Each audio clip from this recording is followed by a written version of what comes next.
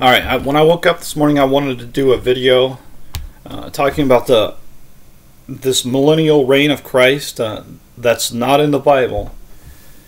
And for me, uh, you know, I look at uh, you know religions like Mormonism. They teach dispensationalism. This idea that well, Jesus was a prophet, but then we needed another prophet, and so we got Joseph Smith. The same thing with Islam.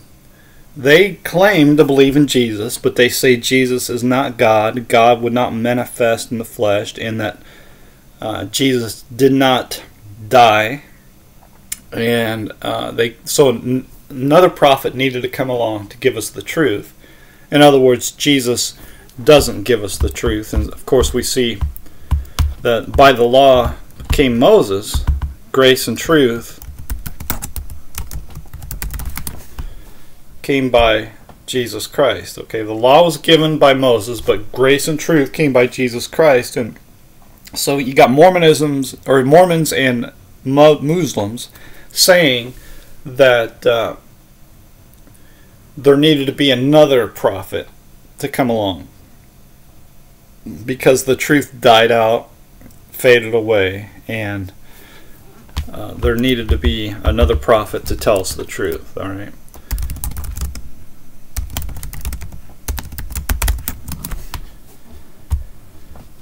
But Jesus says, Heaven and earth shall pass away, but my words shall not pass away. Right. So it, it's interesting. They just completely ignore, like uh, the Muslims in particular, uh, completely ignore uh, really Jesus Christ and they they put a lot of emphasis on rejecting everything that Paul said. And Mormons will say that the Bible is insufficient, that you can't believe everything in the Bible. They'll try to philosophize it that, well, the Bible's right, but it's not understood correctly. So we need uh, a 20 year old pervert to tell us the truth about God Almighty. And that 20 year old pervert was Joseph Smith. All right, and essentially the doctrine they teach is that if you don't believe in Jesus Christ, you don't believe in Mormonism, then you're going to be resurrected still, but you're going to be you're going to come back to a planet and you're going to be a black man. That's the essence of their doctrine. Now, if you're a Mormon, you're going to have a whole planet of women to have sex with. It's great. Now, uh, Islam, they only teach, what, 72 virgins? But Mormonism, you get a, a whole planet full of sexy babes. And you have sex all you want. And then, of course, the women, they'll have spiritual babies galore. Just it's just ridiculous nonsense. But people are caught up in it, and uh, the point being is that you see the same mentality with all these preachers preaching this dispensation of a thousand years coming after the Lord Jesus Christ. And let me show you something. So the idea is that here in Revelation 20, Jesus Christ is reigning and ruling on earth, even though that's not mentioned anywhere in Revelation 20 until we get to verse 11.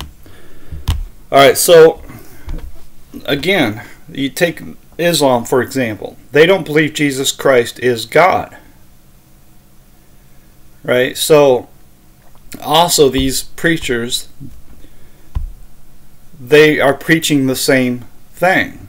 They say Jesus Christ is reigning and ruling on earth, and then a great white throne, and him that sat, sat upon it comes from heaven and judges the whole world.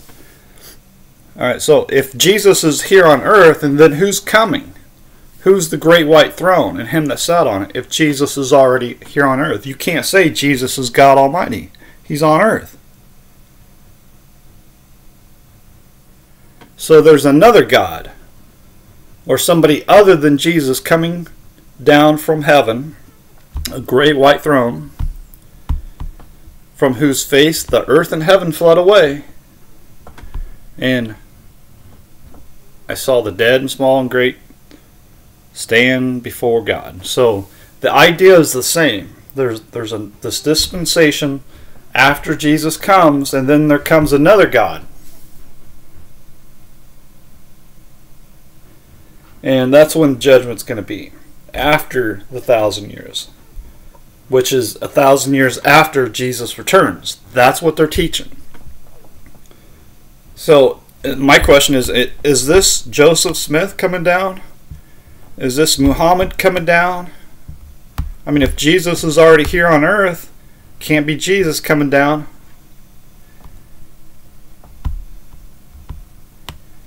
You see what I'm saying? It's there's a problem here with this teaching. A serious problem. It's amazing, It, absolutely incredible that so many people are teaching this stuff.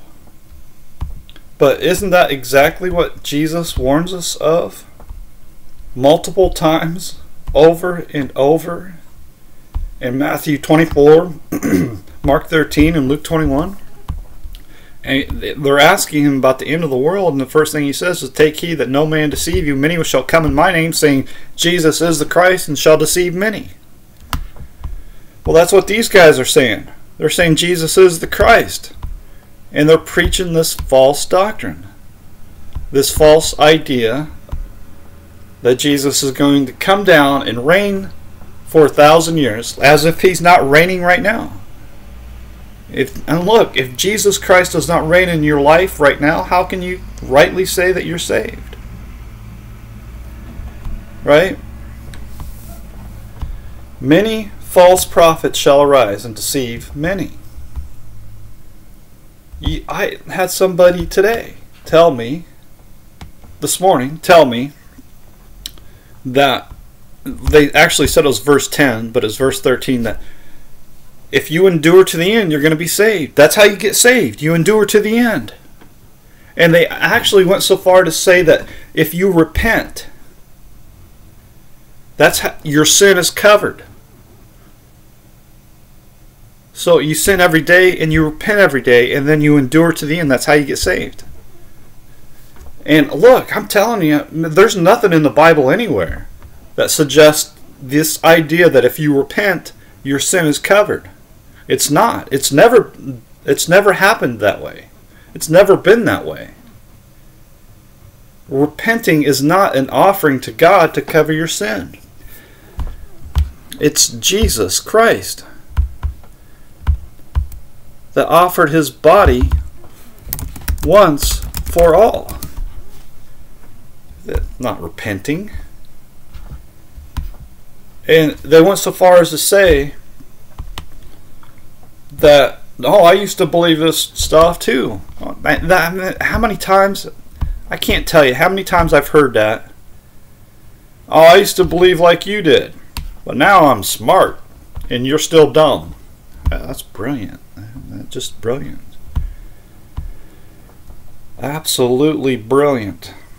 Alright, so right there, Matthew 12, verse 10. Okay, so if I could go, where's that verse at? I used to be caught up in this lie, but I realize the truth. I hope you do too. Um, remember that James said he would show you his faith by his works. Okay, that's his works. Alright, he's going to show his faith by his work. But what are the works of God? Oops, excuse me. Apologize for that right there. What are the works of God? Did I not show that? Or maybe that's a different video they're showing. Okay. Or talking about. So who cares? So we go to John. And they ask, Then said they unto him, What shall we do that we might work the works of God? What are the works of God? And we got the works of James that he's going to show his faith. But what are the works of God? And Um, oh, goodness sakes. Where is that at? 28. And Jesus answered and said unto them, This is the work of God,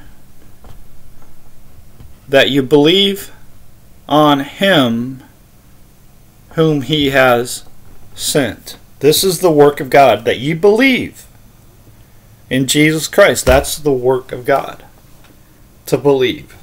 It's always been about faith. Always. It's not a new thing. It's always been about faith. And Noah became heir of the righteousness which is by faith. It's always been about faith. Okay. And of course, um, we must repent. That that is enduring to the end. Just repenting. I repent. That's not an offering to God. I'm sorry. It's not. I don't know who in the world is teaching this stuff, but it's not even biblical in any sort of way at all. All right. So, anyways, what was I talking about? Get fired up about that stuff. I get fired up about this stuff too. All right. So, again, we go to Revelation 20. Oops. I will. What I do? I screwed this all up, didn't I? I apologize here. Let's get back to Revelation 20. So the idea that all these guys are teaching is that Jesus comes at the end of the world. That part's true, but then he reigns for a thousand years, and that part is not true. All right, and that part is easily or easily um, debunked. If we just go to Luke 1, he shall reign over the house of Jacob forever and his kingdom there shall be no end. Simple question for you, buddy. At the end of the thousand years, Jesus stops reigning. You can't get around that. And not only that, you have to say Jesus is not reigning right now. He just reigns for this short little time. It's like Jesus is a prophet of God. And so is Muhammad a prophet of God. And so is Joseph Smith a prophet of God. So he Jesus has this little bit of really in the big scheme uh, big scheme of things. Uh, a thousand years is just a drop in a bucket, man. When and compared to eternity. So, who is reigning before? Jesus, who reigns after Jesus. Let's talk about that sort of stuff. But no, they just want to focus on this dispensation of Jesus on earth reigning over who? Because you got people dying during this thousand years. In other words, when Jesus comes, it's not the end of the world. Even though Jesus says when he comes in the clouds of heaven, it's the end of the world you're just making Jesus out to be all kinds of a liar. What shall be the sign of thy coming and of the end of the world? And then when he comes, it is the end of the world. And when he comes in the clouds of heaven, it is the end of the world. And he gathers together his elect and his and those that are not saved are destroyed forever.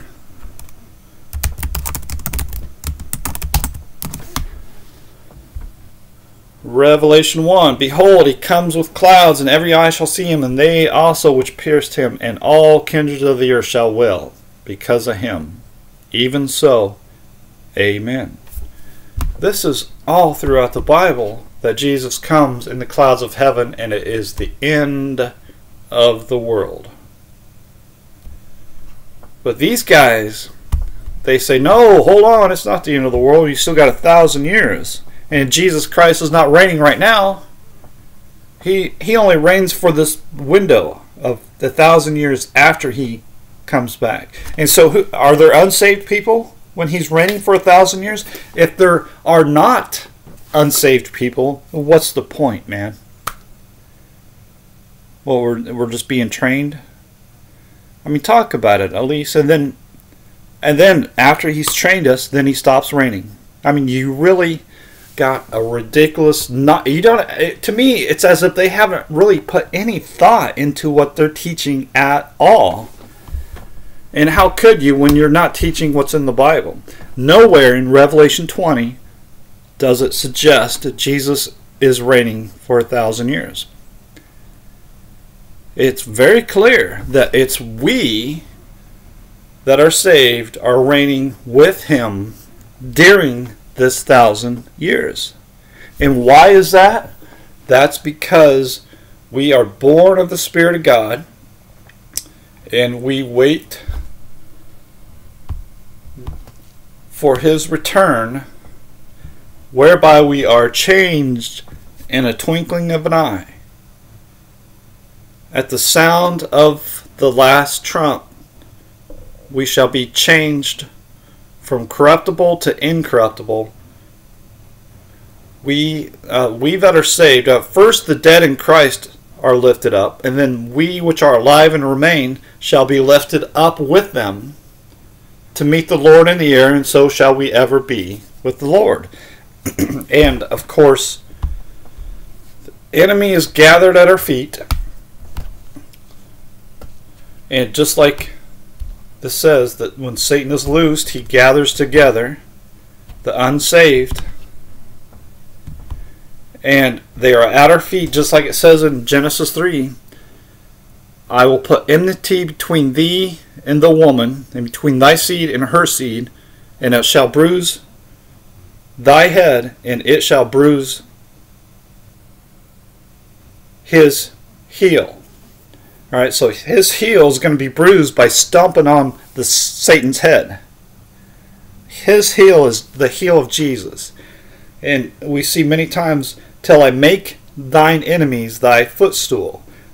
And like what we read in Revelation 3, I will make them to come and worship before thy feet and to know that I have loved thee. They're going to come, be gathered at our feet while we're near, and fire's going to come down from God and devour them all. The wickedness and evilness of the world is going to be destroyed forever. And really, that's what we're putting our hope in, right? That there be no more sin, no more death, no more sorrow, no more crying, no more pain. All these things are going to be former things. They're going to be done away with. And that happens when Jesus comes in the clouds of heaven. It is the end of the world. So what are these guys teaching, man? They're teaching a whole nother religion. I don't know, call it Mormonism, call it uh, Islam. I, you know, I don't know what you call it, but it's not coming from the Bible. Eh, the idea Jesus Christ does not reign a thousand years. It's not in Revelation 20. It's not anywhere, but you see this over and over, day after day, day after day. Begin to judge the wicked. I'm going to open up the earth, and men will say, How did this happen? I'm going to cause corporations to disappear, says the Lord. And there is going to be a natural disaster that's going to hit Disney World, says the Lord. yeah, so this guy here He's talking about a natural disaster that's going to hit Disney World. That's just brilliant, man. What's that got to do with uh, the in the millennial reign? God preparing the earth in the millennial reign. Well, what happens at the end of the world? Well, there's going to be a new heaven and a new earth. So when Jesus comes in the clouds of heaven,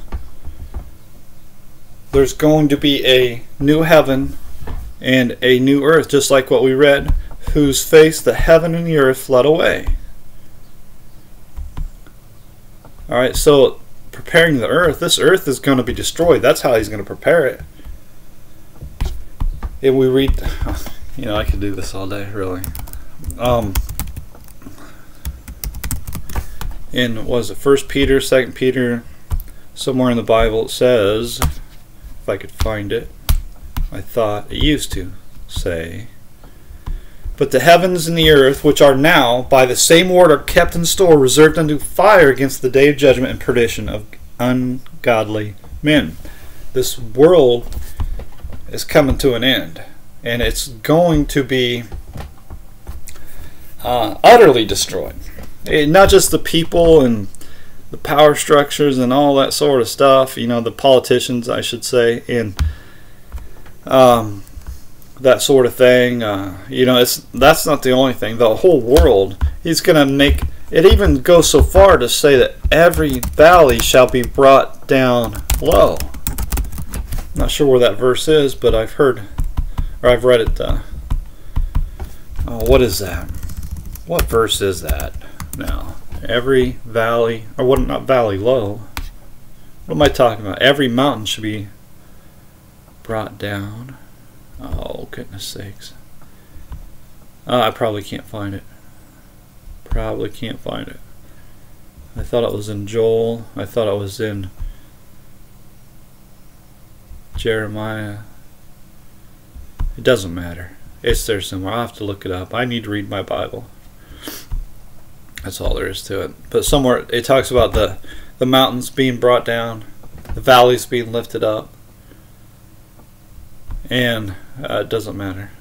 the point is, the whole world is going to be uh, changed forever. All right, so I'm way off on the wording there. Um, doesn't matter. This is going to bother me, but I'll look this up later. In Luke, boy, I was way off man, way off. Every valley shall be filled, and every mountain hill shall be brought low. And the crooked shall be made straight, and the rough way shall be made smooth. There's another verse, and but it doesn't matter. Who cares? Point is, the world's going to change, man. The way we see the world today, it's going to be utterly changing. And I also believe that the world that was before the flood is much different than the world that we're living in right now all right, and so on and so forth. But the point being is, uh, this God is not preparing the earth for this thousand year reign. You're not God, and you're not going to be one ruling after Jesus comes. I mean, this I, to me, that's what it looks to me that this guy is claiming to be God Almighty and that he's trying to get the people to prepare the earth for him to take it over. All right, that, and that has nothing at all to do with Revelation 20. Again, I feel like I need to say this every single day. Look, they lived and reigned with Christ. It's not saying Jesus reigns a thousand years, it's saying we reign with Him. And that's happening right now. Right now, we are priests of God and of Christ. We are a holy priesthood. Uh, a royal priesthood, a holy nation, a peculiar people that we might show forth the praises of Him that has brought us out of darkness and into His marvelous light. Let's see how close I was on that one. But ye are a chosen generation, a royal priesthood, and holy nation, a peculiar people, that ye should show forth the praises of him who has called you out of darkness into his marvelous light. We are a royal priesthood. We are oops, priest of king, uh, priest of God and of Christ right now. We are priests of God and of Christ right now, and we reign with Christ right now, we that are saved. Again, it, it, how can you say you're saved if you're not if Jesus Christ is not reigning in your life right now? All right, so so on, and I just want to talk about that. And to me, it's incredible. Day after day, almost hour after hour, people are teaching this idea that Jesus Christ reigns a thousand. It's like another religion entirely. I talked about this fella right here. He got a nice family, nice guy. But wow. It's like he's teaching another religion. And he's not the only one. Let's be fair about it. There are so many people who got this wrong. Does anybody got this right? The millennial reign of Christ right there tells me you're not trusting the Bible. You're trusting false teachers because the Bible never makes any mention of Jesus Christ reigning a thousand years. You're getting this from false teachers. This is the problem when you don't trust the Bible you hold in your hands. Let the Bible speak about the millennial reign. There is no millennial reign. Millennial reign of Christ. It's not in the Bible. It's like a whole nother religion. It's incredible. And of course, I mentioned what if there's if there are not any unsaved people during this thousand years after Jesus returns, if there's not any unsaved people, um, then what's the point? So let's say there are unsaved people. Well, you're basically telling people right now, just wait until Jesus comes, and then you'll see for yourself, and then you can start believing. All right, and that's just utterly insane. I wonder if people even read the Bible sometimes. I really, I really do. Oh, what is that? What's that story about doubting Thomas? Goodness, I can't remember. Jesus said unto him, Thomas, because thou hast seen me, thou hast believed. Blessed are they that have not seen and yet have believed. So you're going against what Jesus says, and you're telling people, unsaved people, to wait until Jesus comes and then start believing. Well, what I'm going to tell you is it's too late. Jesus comes today and you don't believe, that's it. There are no more second chances. You're lost forever. And there's nothing worse in your life than being lost forever. Today is the day of salvation. Today is the day to believe, to be saved, to have the Spirit of God, to be born of God. Okay. So there's no mention at all of uh, this idea that Jesus Christ reigns a thousand years. And then so you're teaching there's going to be unsaved people after the return of Jesus. Okay, so what are they? Zombies? Are they what are they, man? What what Are they dead people? Are they living people? Are they still in the flesh? Are you still in the flesh? Are they still in their like in our flesh that we're in right now and then you're in your glorified flesh and you're sticking your finger out and reigning and ruling over them, you sinner? You doggone sinner? I'm to throw you in jail. I'm to whip you. I'm to beat you. I'm to torture you. I'm to do whatever I want with you because I'm equal with God. Is that is that what's to happen in your mind? Uh, what's happening? I mean, really, talk about that. You've got unsaved people living with saved people in this thousand year period. Well, that's just brilliant. It really is. Because isn't that happening right now? Do we not have unsaved people living with saved people right now? I think about it, man. Think about it.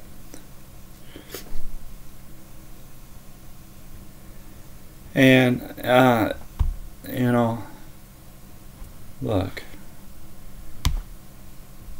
uh, you know, I could go on and on. But bottom line is, there's no mention of Jesus Christ reigning a thousand years. When Jesus comes in the clouds of heaven, it is the end of the world. You can't ignore that, man. You can't ignore that. What? Why don't you just come out and say, Jesus Christ is a liar, and I'm here to tell you what the truth is? Isn't that what Muhammad did? Isn't that what Joseph Smith did?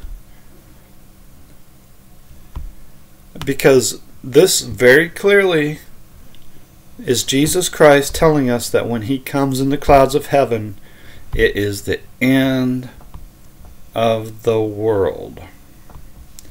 And all the tribes of the earth shall mourn because they weren't ready. They weren't expecting it. They thought they could be saved. And then they're going to realize they waited too long. They listened to you rather than believing and reading the Bible.